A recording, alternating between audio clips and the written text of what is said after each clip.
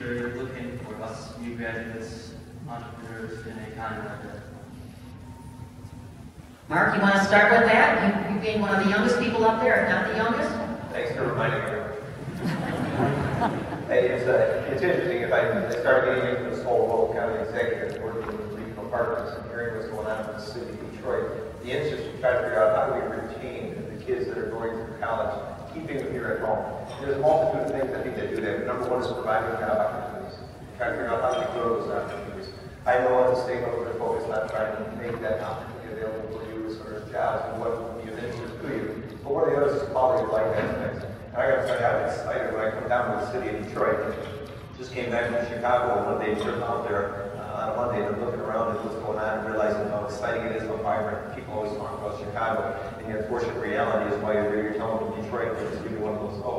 But we're seeing the downtown area some of the exciting things that are happening, and those are the things that I think are really of interest to the kids equally as, as to the job issue and wanting them to stick around. So my job as county executive is working with these regional partners to how to lift up the region so people are proud of the fact that they live here, that they have a job here, and people are going to want to stay here after they get their college degrees for those engineering jobs, working in the manufacturing facilities. And uh, we live it also that they have a quality of life aspect, they too are proud of the city of Detroit because there's a lot happening in the downtown area, and I know Mike's going to be charged with the responsibility of dealing with neighborhoods, providing services, and I'm confident that he's going to be able to do that as soon as this emergency manager moves on and gives him full rein uh, to run the city like people elected him to do. But you- you're going to see the trend that we've seen in this country for a while, which is if you've got a college degree or you have skills, your future is going to be really bright and you're going to do well.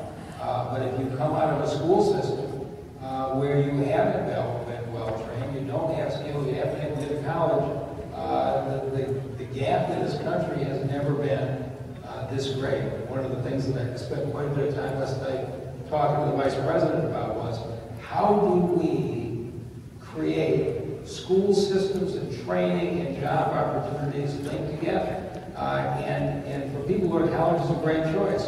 But we have got huge shortages in all the skilled trades and all kinds of advanced manufacturing jobs. These are good paying jobs. You've got the minds here who are designing the vehicles. Who's going to build them? Uh, and we got to do a whole lot better job of creating a path uh, for everybody uh, to get into those kinds of careers. Know, I had the good fortune of having four kids. I lost one, as you may know. But they all four were living in Oakland County.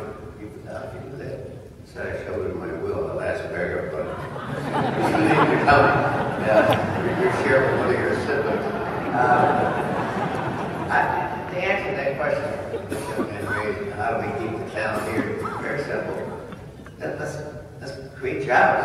I think the reason the young lady or young man leaves his family, his friends, and he goes to, uh, you know, west, Boston, Chicago, wherever it might be, is because they're going to find anything if, we, we're coming back, we're creating more jobs. Well, thank you, guys. Talked about that earlier. More jobs are creating more likelihood we're going to have our own kids here. And uh, uh, that's I truly believe. The job will be the, uh, the difference between these kids here. Uh, one, one beautiful thing out at OU, least, you know, the school they started is the medical school, so it's the Old University of Beaumont School of Medicine, and they really are drafting the best the brightest, like for the first class, they had they took the openings in 3,000 applications from all over the, states, plus a few foreign countries. The point is this, uh, that they're not up to, I mean, 50, uh, 125, 250, so they're going to fill it up to 500. And the surveys show that these, these kids who come here, they're trust me, the best and the brightest, I saw their, some their, their applications, they're all, you know, the schools. Um, graduation, 80% will stay within 100 miles of the university. That's, that's a reliable survey. And that being the case, you know, that, that is one, I think, evidence that, that we are graduates bringing others in don't lose kids. I want to keep. Best way to keep. I guess the best answer is what all of our goals is, I believe, is that uh, your parents should never have to get on a plane to come to visit you. Uh, That should be the goal of all of us. That means the the education system is worth it, you know, the job opportunities are here. I think one of the keys to making sure that there is uh, opportunity here is to make sure you have that atmosphere. We've seen it downtown, Gilbert and others have really, uh, have, you know, created that environment uh, of entrepreneurs and young people coming into the area things like that. If you look at historically, also what opens that up is immigration.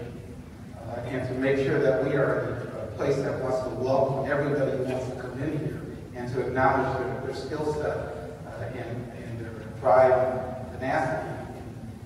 Only creating things, but, uh, you know, wanting to stay here because they think there's opportunity they feel welcome. And I think that that's something that's real important because we seem to now pushing immigration a little bit to the side, but it does open up a whole environment of, of being welcoming and people, especially young people,